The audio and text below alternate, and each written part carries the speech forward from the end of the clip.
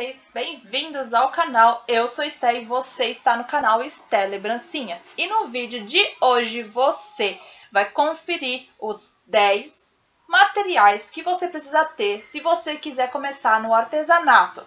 Não necessariamente esses, mas eu vou dar umas dicas para se você quiser começar no artesanato, para você ter alguns materiais básicos, ok? Então, vamos lá!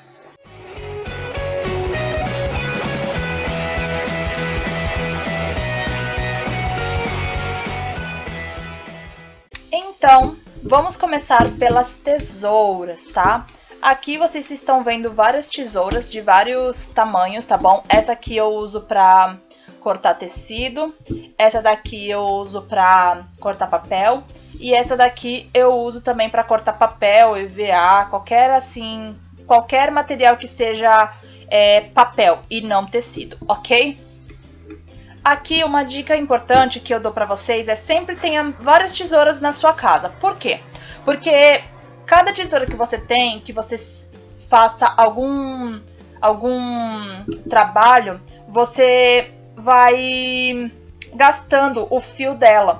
Então eu sempre dou essa dica de sempre tenha um, uma tesoura para cada tipo de material que você tenha, ok? E é claro, vários tamanhos, porque se você tiver que cortar um, um papel um pouco mais pequeno, algo um pouco mais detalhado, é claro que essa tesoura aqui é bem melhor do que essas grandonas, não é verdade? O cortador circular. Esse daqui é de 60 milímetros. Vocês já viram ele por aqui, certo? Esse aqui é aquele que destrava, ó. Tá? Então, o cortador, ele é ótimo para você trabalhar caso você queira algo um pouco mais rápido, tá bom? Existem vários tamanhos desse, eu já falei um pouco mais sobre ele aqui no canal. É, é muito bom ter ele, tá? Você tem aquela segurança aqui, como eu já falei no em um dos vídeos aqui no canal. E você tem um pouco mais de agilidade com ele, caso você queira algo, algo um pouco mais rápido, ok? Os estiletes. Esse estilete aqui é bem velhinho já, como vocês podem ver, já tá até com, uma, com a lâmina um pouquinho enferrujada, ó mas ele é muito útil e vocês vão vão usar muito o estilete em artesanato, ok? Por quê? Porque caso vocês queiram é, cortar alguma coisa, é, acertar, para cortar isopor, o estilete é ótimo, tá? Outra coisa também que eu poderia falar aqui, que como material é lixa, tá? Lixa é sempre ótimo para você ter aí na sua casa, pelo menos umas duas para você usar, ok? E é claro, continuando ainda no mundo dos estiletes, tem esse daqui. Provavelmente esse aqui é novo para vocês, mas tem esse aqui, ó. Esse daqui é a lâmina dele, tá? É ótimo, tá? Tanto no, na, em artesanato com papel, quanto para costura também, tá? Esse daqui é ótimo. Desde que eu comprei, eu uso muito pra tirar costura, pra fazer... Pra para reciclar coisas, tá? Que nem eu tava fazendo aqui agora há pouco. Deixa eu até mostrar para vocês aqui, ó. Tirando o zíper dessa bolsinha, tá vendo? Que ela tá bem estragadinha, ó. Já tem um buraco aqui embaixo, ó, que ela rasgou. Então eu tava tirando o zíper. Por quê? Porque o zíper, ele já ele ainda está bom, entendeu? Ele tá ótimo esse zíper. E eu não queria perder o zíper, já que eu já perdi a bolsinha. E o que, que eu tava fazendo com esse com esse estilete, justamente tirando o zíper, tá? Claro que você não vai meter a, a, a coisa aqui assim, ó, pra arrebentar com o zíper e nem estragar a, a costura do zíper, né? Então aqui tem uma costura aqui bem rente aqui, ó, e você pode pegar aqui na linha e arrebentar, ó. E, e ir tirando conforme você queira, por causa da ponta. Essa ponta aqui, ó, essa ponta aqui é ótimo para você é, tirar costura, fazer detalhes, é maravilhoso. E esse daqui a gente vai usar também muitas vezes aqui no canal para a gente fazer detalhes em outros materiais, ok? O kit que eu comprei, ele já veio com algumas lâminas, ó, como você pode ver, ó, com algumas lâminas, que é só você tirar aqui, desenroscar e trocar. Agora, partindo para o mundo dos furadores, temos aqui três tipos de furador, tá? De três. Dois tipos de furador, mas três. Dois tipos, mas eles são diferentes. Por que, que eu falo que é diferente? Esse aqui, ele é aquele tipo alicate, tá? Ó, tá vendo? Tipo alicate. Mas ele é o furo é pequenininho, ó. Não sei se vai dar pra vocês verem aqui o furo, ó, aqui dentro. Mas ele é bem pequenininho. Já esse daqui, ele também é tipo alicate, ó. Ele é tipo alicate. Ele é bem mais forte do que esse daqui. Esse daqui é um pouquinho mais molinho. Esse daqui você precisa fazer bastante força. Porém, o, o furo dele é maior, tá vendo? Porque esse daqui é o furo padrão de caderno. Esse daqui. Esse daqui é aquele furo padrão de, de tags. Sabe aqueles furinhos de tags? Eu vou deixar até aqui na tela para vocês verem. Aqueles furinhos de tags que você coloca o, o barbantezinho ou aquela fita fita de cetim. Então, é esse furo aqui que você faz naquela, naquelas etiquetas pequenas, ok? Continuando aqui no mundo dos furadores, tem esse furador aqui. Esse furador aqui, ele é o terror das artesãs. Por quê? Porque a gente vê vários desses e que sempre quer comprar todos, né? Fazer aquela montanha de furador em casa, sendo que quase nunca a gente usa.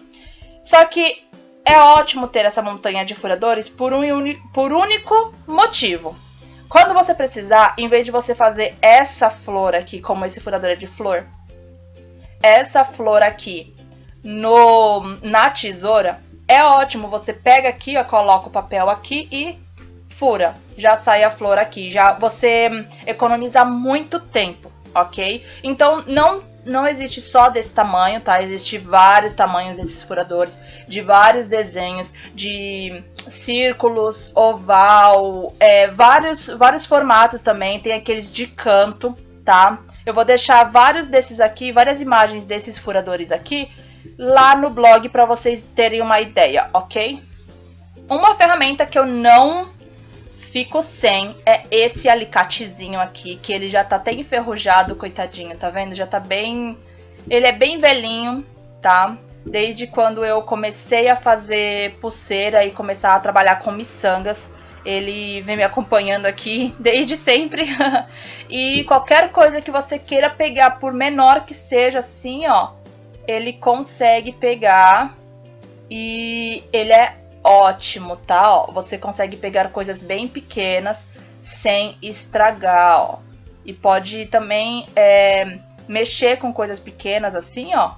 Como vocês estão vendo, é, com o alicate também, porque com a mão você vai ficar horas e horas pegando aquelas pérolas, sabe? Aquelas mini pérolas, metade de pérolas, meia pérolas. Então, é, é ótimo você ter esse aqui, ó. Porque aí é só você passar o alicate na, na pérola, pegar, colocar na onde você quer, empurrar ela um pouquinho aqui, ó.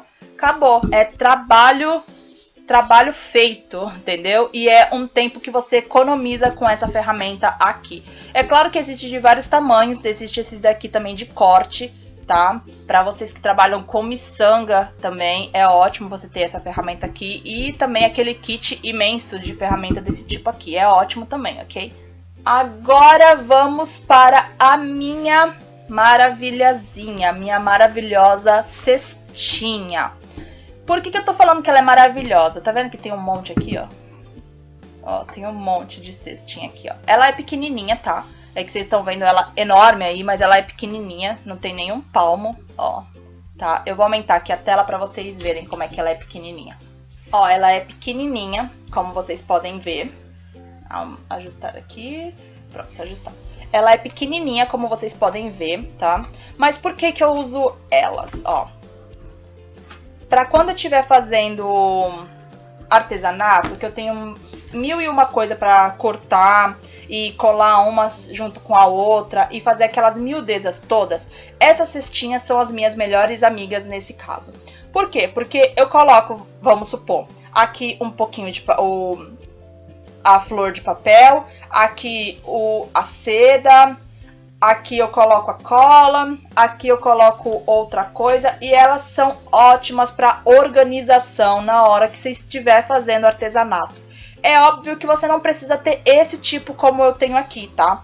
Vocês podem comprar outros tipos, ou você pode pegar também aquelas caixinhas pequenininhas que você tem aí na sua casa, sobrando. Então, vocês podem pegar ela e deixar num cantinho, aí no seu cantinho de costura ou no seu cantinho de artesanato, para sempre deixar organizado quando você for fazer o seu a sua encomenda, o seu artesanato, ok?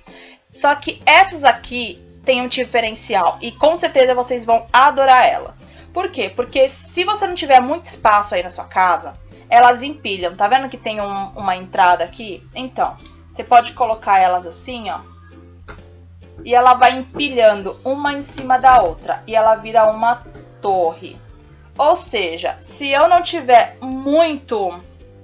Ó, vou até mostrar aqui pra vocês, ó.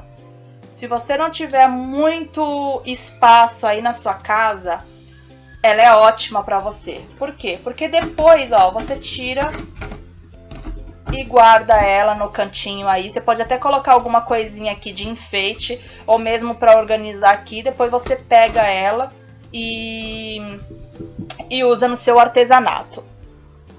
Por último, mas não menos importante, temos essa belezinha aqui que está cheia de coisa, como vocês podem ver. Mas é a nossa caixa organizadora, que tem vários tipos e vários tamanhos também, de várias cores, como vocês podem ver. Aqui eu estou organizando as minhas fitas meus elásticos e coisas de costura, tá bom? Então aqui você pode ver que eu tô organizando minhas coisas de costura, ó, como esses elásticos aqui, que eu vou fazer um vídeo sobre elásticos pra vocês também, tá? E essas, essas, essa, essas caixas organizadoras, elas são ótimas por um único motivo, organização. Você pode pegar várias dessas aqui, organizar todas. Eu tenho várias dessas aqui em casa, tá? Tenho muitas dessas aqui em casa, porque é ótimo para organizar as minhas lembrancinhas, os meus utensílios de costura. E você pode ter para qualquer é, qualquer nicho de artesanato, você pode ter essas caixas organizadoras. É super, para, super baratinho, existem aquelas pequenininhas assim, existem aquelas enormes. Eu tenho duas daquela grandona, que é para organização, para coisas maiores. Tem essas aqui que são um pouco, é, são médias, né, de média para pequena, tem uma maior que essa. Tem outras que são assim pequenininha, que são três, seis compartimentos. Existem essas assim de transparente, existe de cores, existem aquelas que tem maletinha e você tem várias dessas assim, uma dentro da outra, é muito linda, eu quero muito trazer aqui pro canal essas. E essa daqui foi a última peça para você organizar o seu seu ateliê, organizar o seu material de costura e artesanato. E é claro que não pode faltar aí no seu cantinho para você começar a trabalhar e pegar no pesado, ok?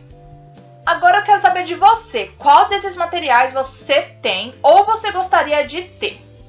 Deixa aqui nos comentários e não se esqueça de deixar o seu like que isso me ajuda muito, de se inscrever no canal se você chegou até aqui e ainda não é inscrito. E se você já é inscrito, muito obrigado pela sua presença aqui no canal e muito obrigado pelo carinho passa lá nas redes sociais e não esquece de conferir várias dicas lá no blog, ok? Então é isso, eu fico por aqui, um grande beijo e até o próximo vídeo. Tchau!